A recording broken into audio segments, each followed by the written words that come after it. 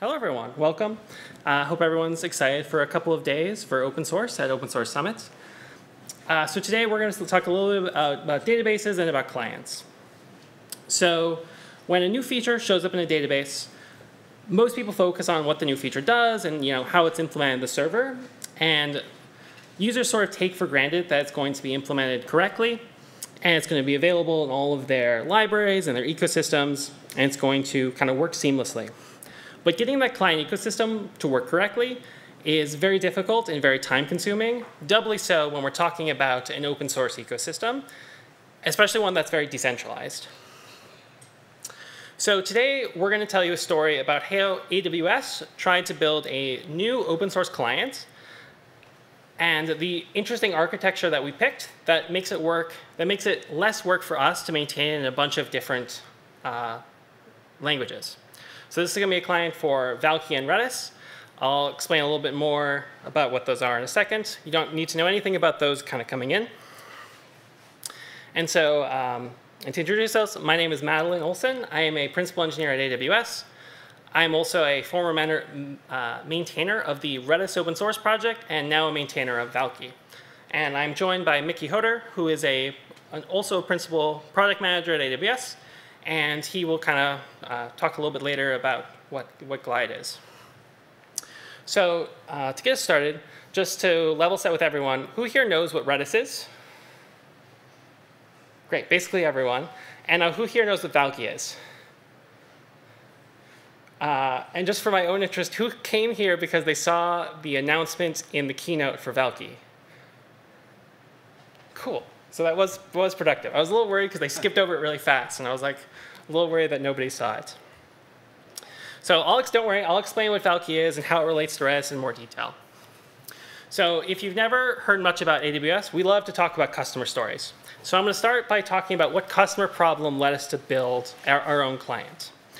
So me and Mickey work on a service called Amazon Elasticache, which, you, as you might have guessed, is the managed caching service within AWS. Uh, we have different flavors of databases, and we, uh, of which one of them is we supported Redis open source. So we had a company that sort of came to us and said, hey, we're having trouble with um, connection disconnects, client disconnections, um, and connection storm issues. Uh, and this was because um, they were using something called connection pooling, which is they established a bunch of connections in up, up um, in advance and then reuse those throughout the lifetime of the application. Now, you might have like 100 or so uh, application pods in a microservice architecture, and each one of those might have 20 connections to the Redis cache. And when the cache goes down for any reason, like maintenance or an unexpected failover, all of those connections get reestablished very quickly, which can cause what we call as a thundering herd problem or a connection storm, which kind of can bring down the cache because it's spending so much time establishing new connections, it's not able to serve existing requests. So we had a customer like this, they had this problem, and so we did what AWS does and tries to fix this. And in this specific case, we did a lot of open source work to make it better. So the first thing we did is we went to the client they were using and implemented exponential backoff in the client. This made it so that the, uh, the client was able to more easily reestablish the connections and um, lessen the load so that uh, the cache was able to come back up. We also made contributions to the core engine so that it was more resistant to this type of work by prioritizing existing connections instead of um, accepting new connections. We also wrote a bunch of blog posts and helped educate users about how to basically set up these connection pools. So this is, you know, in my opinion, a really good open source success story, right? This is what we all expect from open source. So what went wrong here?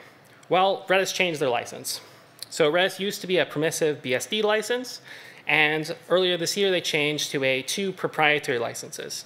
So now all of a sudden, we were no longer able to help uh, these users by contributing to these open source projects.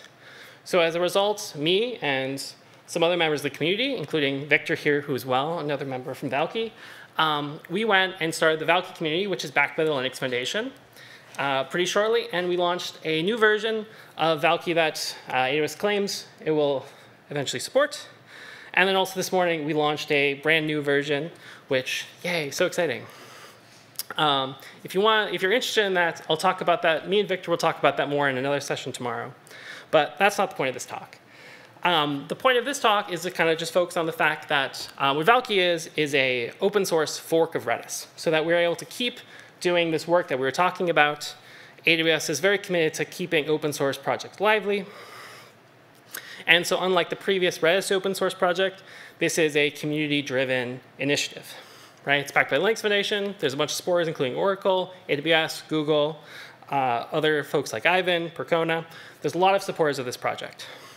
So this is great. So what's the problem now that we have Valkey? It's that now we have a lot of clients to maintain, right? So Redis clients were initially developed sort of iteratively over time. We started with a lot of really popular Ruby clients because Redis was very popular in the, uh, the Ruby community. And so that sort of built up and a lot of features got added. And these were all based on, you know, what, do, what is the community interested in? So some of the other clients were, were less developed as a result. And so over time, Redis started taking over some of these uh, clients. And so when the fork happens, what Valkey had to reactively sort of kind of also fork all these clients. And so now we're sort of dealing with all of these clients in all these different languages, which isn't a great situation for us to be in. And I'd like to articulate um, some of the interesting problems specifically with Valkey and Redis and why it makes it kind of difficult to build a, um, a client for all of them. So, you know, in AWS fashion again, we'll, we'll start with kind of a, a, a customer story.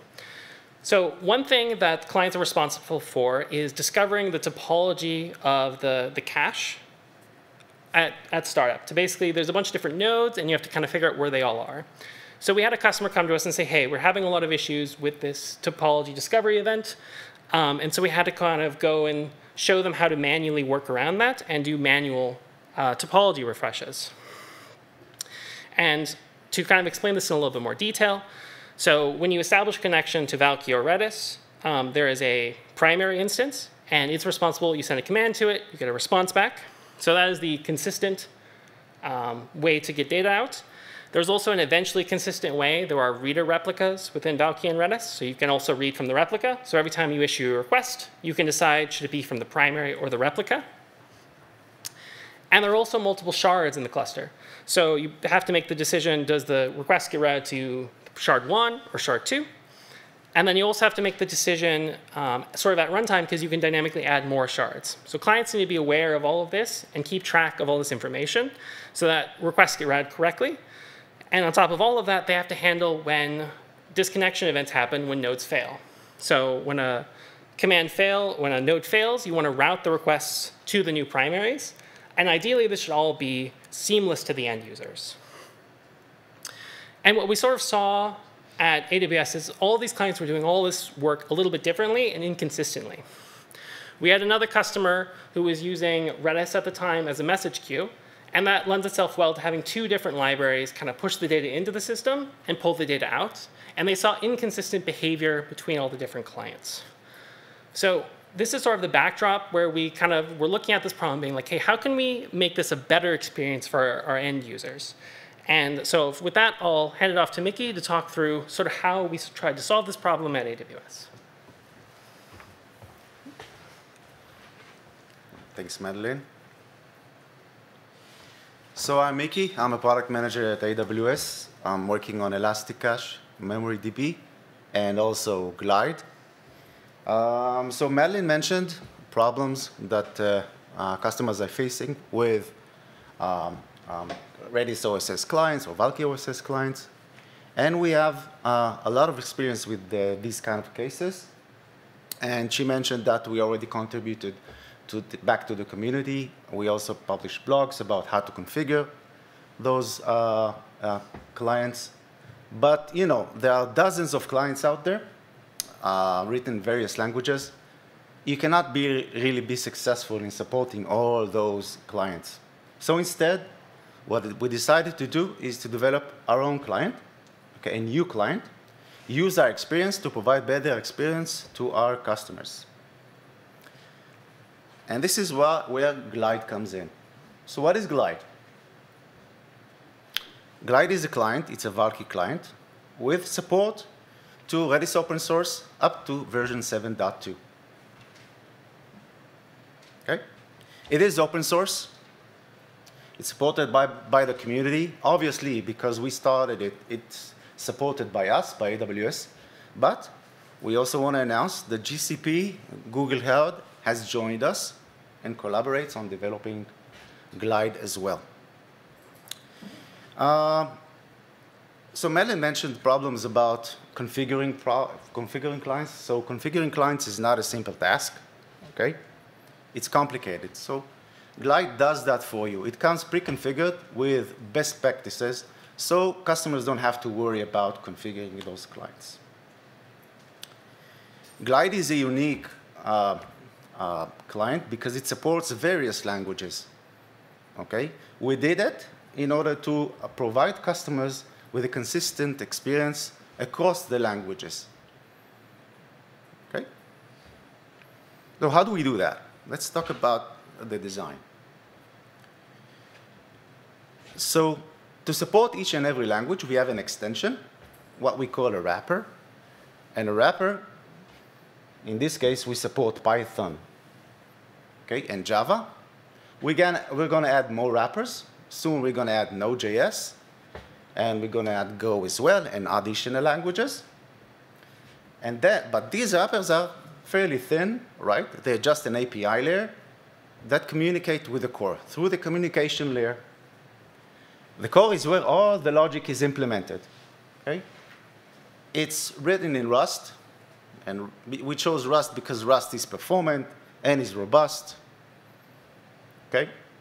And the, uh, the core itself is responsible to communicating with all with the with the clusters, okay? Whether it is Redis OSS or Valkey. So this unique architecture allows us to provide a consistent experience across languages. So no matter what language you use, you're going to get the same behavior, right?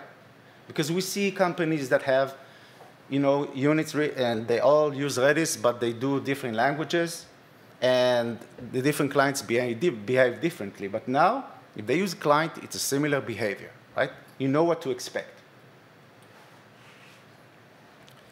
An additional thing that we're getting is it's easier for us to introduce features or to fix bugs because we do it only once in the core and it is populated to each and every language. Now let's see some examples for uh, features of Glide. So Madelyn talked about the way the cluster is built and what the cluster topology is, right? So each, each cluster has nodes. These nodes are organized like we have replicas, we have primaries, and the topology keeps changing all the time. Why is it changing? Scaling in, scaling out, when you add nodes or remove nodes to the cluster, right? Failover, which means sometimes primary nodes fail, and then you do the replication. So it's dynamic. This is uh, a hard situation for clients because they need to track all those topology changes right? They need to keep up with those topology changes in order to avoid disconnects. So Glide is not reactive. It's not waiting for failures to happen. It proactively asks for the topology view, okay, and adapts. The advantage is a more stable and reliable situation, right? Each and every node in the cluster knows what the topology of the cluster is. Even if we have 500 nodes, all of them know what the topology view of the cluster is. The problem is that they're not all aligned. They're not always in sync for various reasons. So Glide doesn't satisfy with querying a single node and asking, hey, what's the new topology change? No. It asks several nodes in order to get the majority and then increase the confidence of getting the right topology view. Let's talk about some connection management that, that Glide does for customers.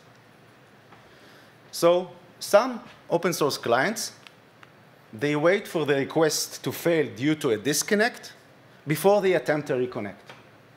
This reactive mode obviously increases the latency or the response time. So Glide is proactive here as well. It doesn't wait, it doesn't wait for disconnects to happen, right? Or it doesn't wait for failures. behind the scenes, he always queries and the connection to see that everything is okay. And if something happens, it automatically reconnects. So what you're getting at the end of the day is a better and stable result, right? And less this, and the customer suffers less disconnects. So Glide also manages connections for you. You don't have to worry about managing connection pools, right? Or anything like that. What we do is we use a reduced number of connections. Each connection is a single connection to a node, right? And all the requests coming in are chan channeled to that specific um, uh, connection, okay? And this is done by what we call multiplexing multiplexing all the requests. This allows us to reduce the number of connections, have a simplified way of work, and then keeping maintaining the performance at a high level. Okay? When disconnects are happening, and this is the last thing I want to talk about here, um, Glide doesn't connect at the same time, right? All the clients, they distribute the reconnection across the time, in order to avoid what Madelyn shared as the connection storm. Imagine the failures are happening, all the clients try to reconnect at the same time. That's really a load on the server, right, on the cluster. All that to say that Glide improves the reliability and stability as well as the performance.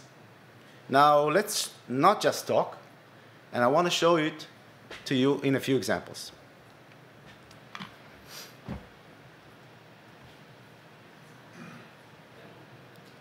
right? You see everything? Yeah. Cool. This is a very simple example. What we're looking at is a very simple application that uses PubSub. We use a specific client. I will not mention its name, but it's not Glide. All right? And this application, what it does, it uses the uh, Redis and Valkey capability of uh, a feature of PubSub. You can think about PubSub as if you want to implement a chat, and you have publishers and subscribers, and you have channels, right? This is usually implemented using PubSub. So it's not a simple implementation.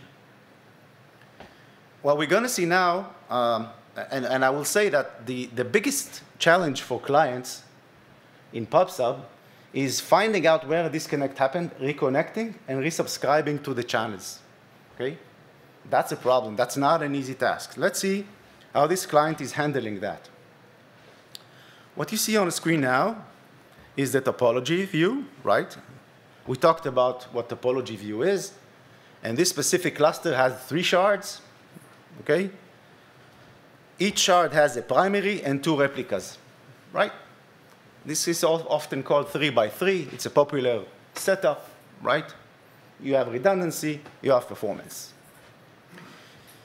On the left side, what you see is a publisher that is publishing messages every second to two channels, channel number one and channel number two. I know the colors over there, these screens are not so good, but you see the colors here, I think. We just saw it before. But I'll say just channel one and channel two for the sake of the discussion. You can see that it publishes a, message each, each second, okay? In the middle, there's a subscriber. And the subscriber keeps on pulling the messages out, right? He listens to the both channels, pulling out the messages. Okay? That's a simple one. Everything is working, everything is fine. At the bottom, what you see is that the channels are mapped to a specific node. That's the way it works, right? For example, channel, channel number one is mapped to Valkey 14506. So 14506 is shard number two, okay? That's the primary of shard number two. What we're going to do now is we're going to fail, or we're going to kill this node, specifically this primary node, and we're going to see what's going to happen. So I'll tell you what's going to happen. You will see that the cluster is attempting a, a replication failover, right? So replication is going to, to replace the primary. So what happened now is a topology change, right? This is a situation. Things change in the cluster. What the client needs to, the client needs to do is to adapt to the change and reestablish the connections. Okay? So what I'm going to do now, I'm going to kill uh, node 1, 4, 5 of 6.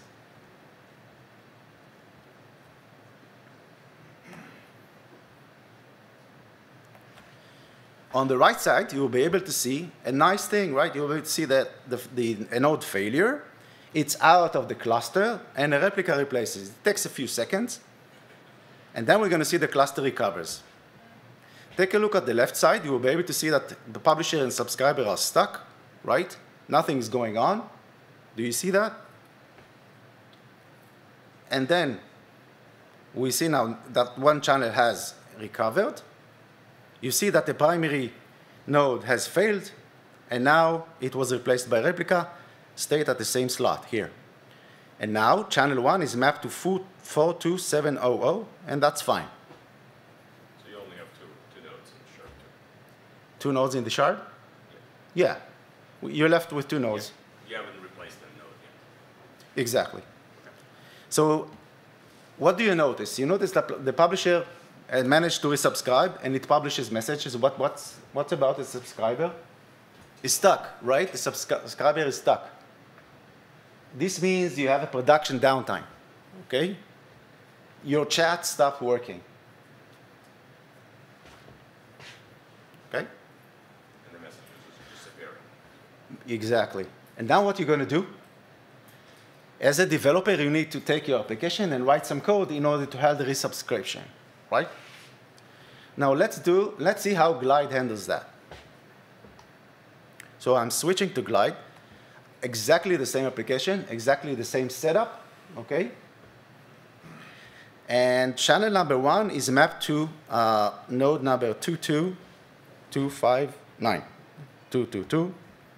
22259. I'm going to kill the primary, and we're going to see what's going to happen. So one node is down. Take a look at the left side. You will be able to see that, that the channel is stopped, which makes sense. There is some downtime when you have a server downtime, okay? Now the, uh, the node is going to be replaced. The primary is going to be replaced by a replica. And what we expect to see is that Glide will resubscribe the channel as well, and everything will get back to normal. Right? So now there was some downtime because it's inevitable. However, we did recover both the client and the server. Now, the nice thing about it is this is what I want to share with you, is the code that's behind that, right? Maybe just with a bit bigger.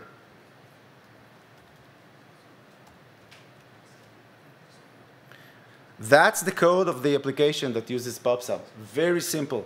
On the upper side, you see the publisher. The subscriber is at the bottom. See how easy it is. You don't have to handle errors. You don't have to manage connections. You don't have to manage the subscription. Glide, do, Glide does that for you.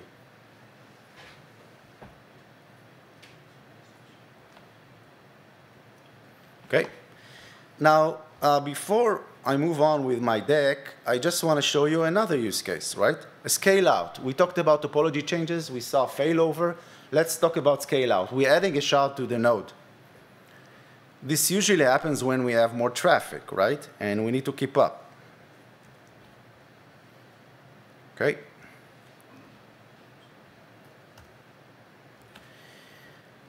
Clicking scale out, what you will see on the, on the right side, the cluster node, you'll be able to see another shard is added.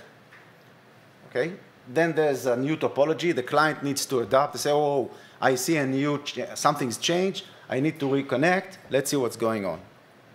Tell me if you see anything wrong or do things look okay. So shard number four is added, right? Still not done. But take a look at the publisher and subscriber. They keep on working all the time, right? Now the shard 4 was added. Okay? But you don't see a downtime. publisher keeps uh, publishing, subscriber keeps subscribing, everything is okay. They're still on the other shard, the shard one. Which one? The, Could be, yeah. Could be, Could. but it could be remapped, right? okay. It's not the control of the client. Client just knows that if he wants to continue the connection or he needs to replace it. Right? So by adding shards, you give yourself more PubSub capabilities. Yeah, And Glide will automatically remap exactly. shard if it's necessary. Exactly. Had we had thousands of PubSub channels. channels, you'd probably start using the new shard. Yeah, Which is the whole point. Exactly. It, it could have happened, by the way. If, it depends on the reslotting, right? Yeah. Of the slot migration. Okay. Right. Uh, yeah. Let's go back to the presentation. Yeah, we're good on time.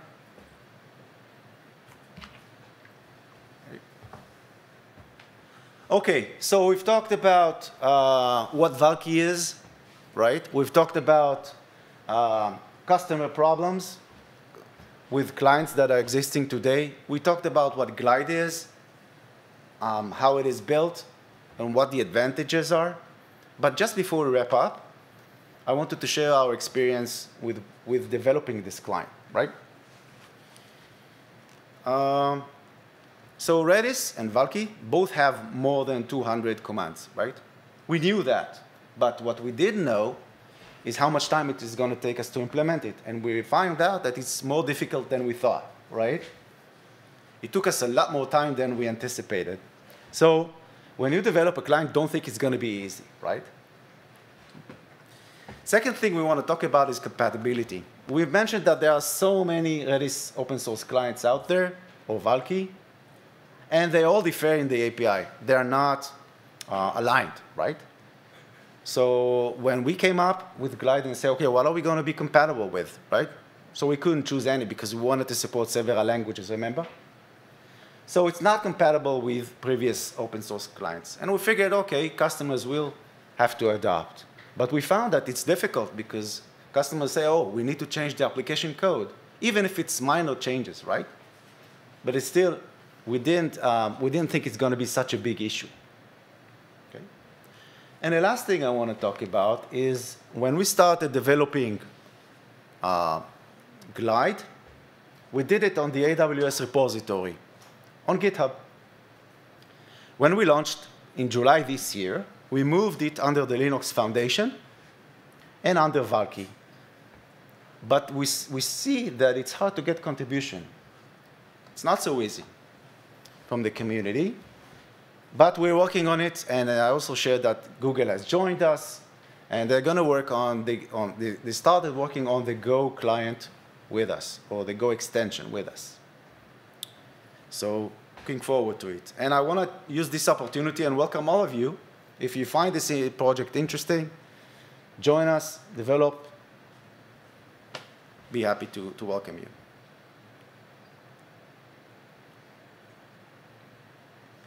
So how to get Glide? You can find it on Maven or pip, depending on your language. As I said, we're going to add very soon a few more languages. You can find it on GitHub, under Valkey, and we also have a Discord. If I remember correctly, this presentation is shared with you, or I think all the presentations are shared with you, so you'll be able to um, have a look and have the links. So don't worry about that. Anything else you want to say before we wrap up? I don't think so. So I hope this was interesting. I thank you for your time. You're welcome to ask questions. We're here. We're still here. We're going to be here after this session. We have an AWS booth. We're going to be there. We're going to run the demo again if you didn't get it or you want to see it again. It's very easy to show it. We're going to talk about Glide, Valkey, Elasticache, Redis, whatever you want to talk about, come and see us. Thank you for your time, and I wish you a good summit.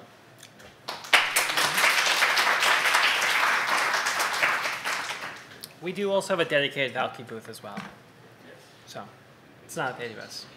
I would like to see this uh, in our in Valkey documentation, like a document, document how how client, client should behave, like how many, how many connections, things like that. Like the, the things you discussed here. The Configuration? We don't, have, we don't have it. We don't have it in our documentation, like for for good behavior for clients, how they should behave. Behavior or configuration or both? Oh, Can you say the question out loud? yeah. Yeah, sorry? I, What was is the mic, is the mic still on? Is this still on? Oh, yeah.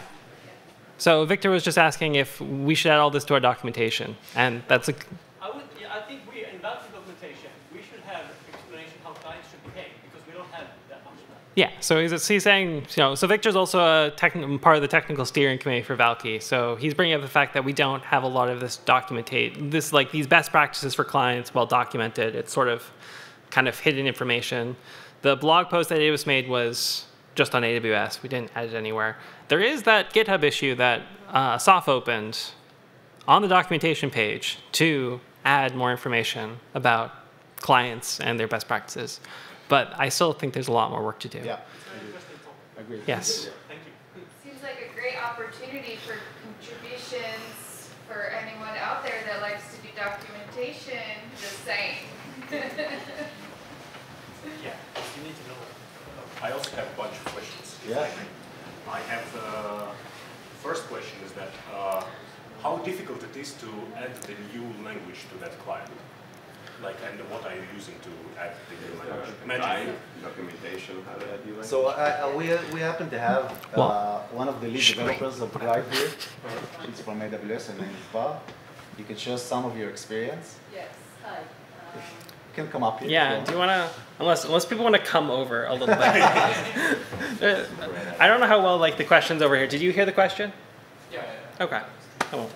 Okay, so adding new, we call it wrappers, the extensions. Adding new wrappers, so as uh, Mickey explained, it's just a thin layer on top of the core. So there is no logic there, it's just like copy pasting, but it's, it is in a di- different language. Uh, we do need to choose the communication layer. So we have languages which we POCs it and found that using a Unix domain socket to communicate the data between the core and the wrappers is the best choice. We have languages that we are going to use direct FFI. Uh, we might switch it to shared memory later on. So there is the phase of just choosing the right uh, communication layer, and after it, that, there is a work to add APIs for like 200 or more commands. Um, but again, it's not like a very uh, deep work. It's more like Technical. technical work, adding new language, new wrapper.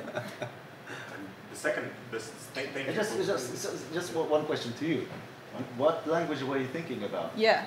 Uh, I am just generally Oh, uh, okay. in, interested in how how complicated it is to create such a generic uh, client. And uh, the second the second question, it is basically the same question but from the other side. It's that uh, I heard that it might be sometimes difficult to create such a such a client. So how difficult it is to add a command to it on the other hand. So adding commands is actually pretty simple. Um, again, the logic is only one place, so it depends on the on how complicated the, the command is. Like adding a get or set, getting or uh, setting a string uh, phrase is very simple, but as long as it gets more complicated, it has more logic, and we need like um, for, like pub/sub commands, which required more logic to put in the Rust core.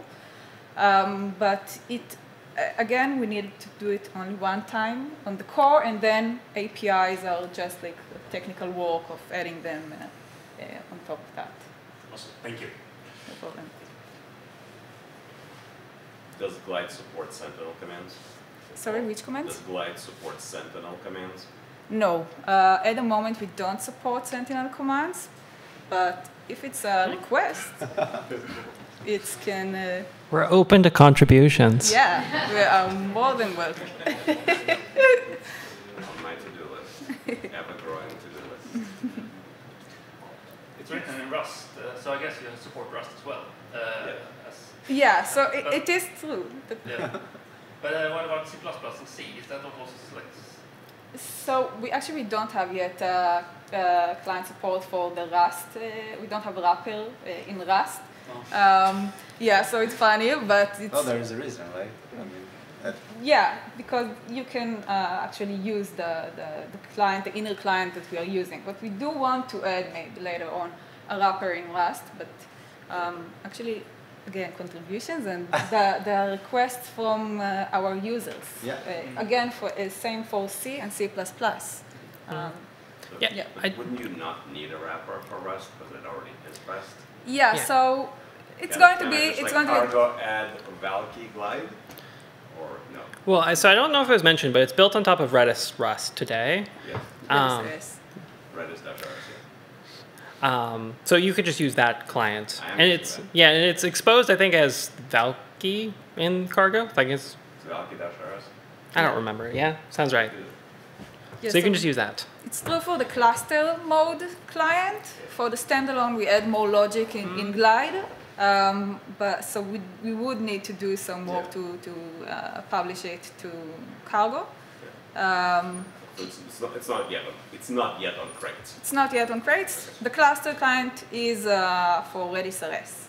Okay. Uh, But you brought up a good point that there's just inconsistency between clients. Like some some client may use cluster nodes, some may use cluster shards, and there's slightly different information exposed in them. So, yeah, Those that are using cluster nodes are doing it wrong, though. yeah. Nope, they're doing it wrong. I agree. Actually, I remember you and I were chatting two years ago about cluster shards. I mean, uh, three years ago. something. reason to use cluster nodes. I mean, if you want to support old versions and you don't, and you don't want the huge support, if you have a lot of fragmentation, it's, it's compact. It's more compact. No. But then it becomes like legacy support. Redis 2 or whatever it doesn't have cluster shards. Or Redis 5. Well, then you wouldn't use.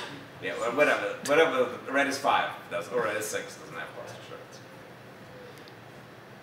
Yeah, that is a lot of I like how we scared everyone else away besides the people who know what Valkey is already. yes, Jonathan? Yes.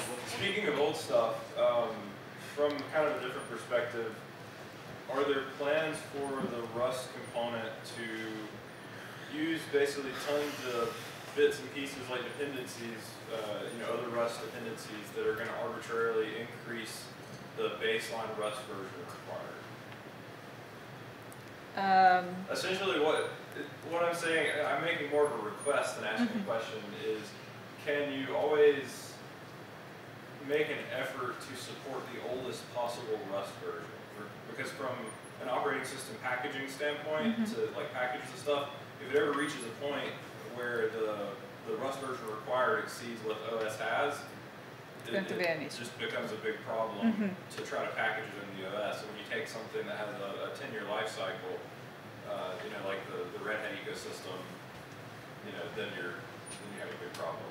mhm. Um, and with Rust especially, and Golang, and, and these new languages that have, you know, these tiny modules for every stupid little thing, uh, it, it gets really aggravating. Yeah, um, we, we do try to support uh, at least two uh, less uh, versions, but I, I get I take your, your note and we will definitely consider it when, especially with Rust and other languages as well. Cool.